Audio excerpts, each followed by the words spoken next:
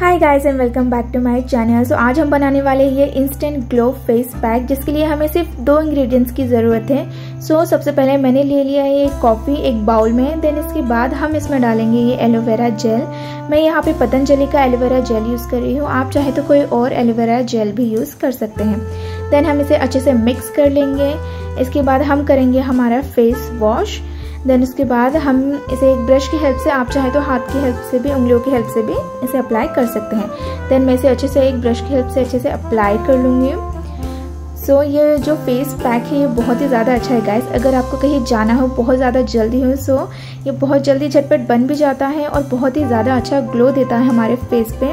Even अगर आप इसे हफ़्ते में दो बार यूज़ करेंगे तो आपके फेस पे ब्राइटनिंग इफ़ेक्ट देता है प्लस आपके फेस से दाग धब्बे भी हटाता है।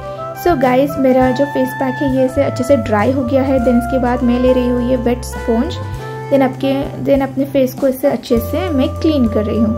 सो so, आप देख सकते हैं कि इसका जो रिज़ल्ट है कितनी जल्दी इंस्टेंट देता है। प्लस मेरा जो फेस है वो कितना ग्लोइंग नज़र आ रहा है।